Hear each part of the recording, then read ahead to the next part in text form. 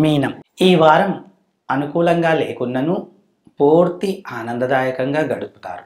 గురు శుక్ర గ్రహములు తప్ప మిగిలిన అన్ని గ్రహములు అనుకూలంగా లేకున్నను కేవలం గురుబలంతోనే అన్నింటా మనోధైర్యంతో ముందుకు సాగుతున్నారు. ఈ వారంలో స్థిరాస్తులు లాభము అనుకోని విజయాలు సౌఖ్యము కలుగుతాయి. కులవృత్తిలో రాణిస్తారు.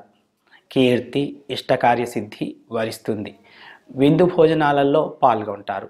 కార్యలాభం కలుగుతుంది.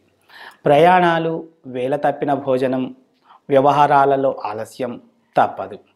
ధన నష్టం మానసిక ఆందోళన భయము వాత సంబంధ అనారోగ్యము దుష్టులతో అకారణ కలహాలు సమస్యగా మారుతాయి. ఆశించిన పనుల్లో నష్టం ఏర్పడవచ్చు.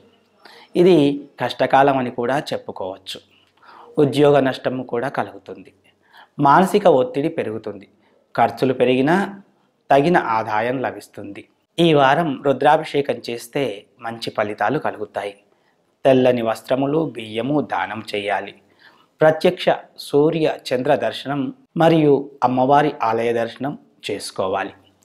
ఆదిత్య హృదయ పారాయణం ప్రతిరోజు సూర్యోదయ సమయంలో చేస్తే చాలా మంచిది.